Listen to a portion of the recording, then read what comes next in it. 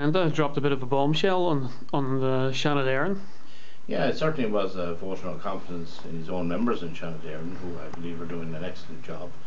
The Seanad is a very effective body as far as legislation is concerned.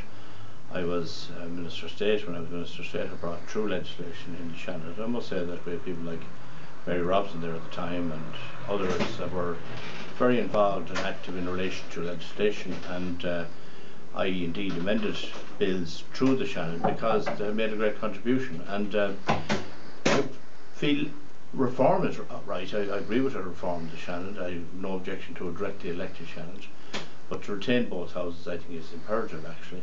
And furthermore, you know, democracy comes at a price, and people fought to have our parliaments in Ireland, and people shouldn't throw it away lightly.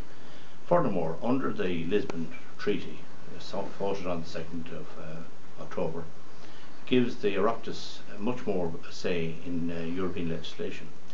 And the Seanad is the ideal location to bring process all legislation from Europe through the Seanad because it all, quite frankly, wouldn't have enough time to process this and under the Lisbon Treaty is one of the benefits of the Lisbon Treaty that within the pub immediate publication legislation it's sent to each parliament and each parliament can make submissions uh, to the commission have amendments made and indeed through our MEPs so the role will be further enhanced and quite frankly I think that it's a retrograde step uh, I think that uh, people should respect the fact that we have a, a very active democracy and people get tremendous representations. And I myself brought forward a private member's bill called the Registration of Wills Bill in 2007.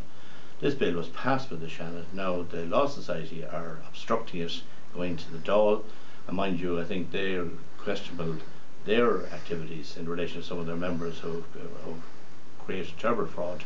They should look after their own business, but they don't want to see the Registration of Wills Bill for some unknown reason. And again, uh, the fact that we could get a bill through the Seanad there. So there are other private members' bills have been initiated in the Seanad as well, and uh, right. that is another vehicle. Well, that's a very extreme uh, solution to the situation.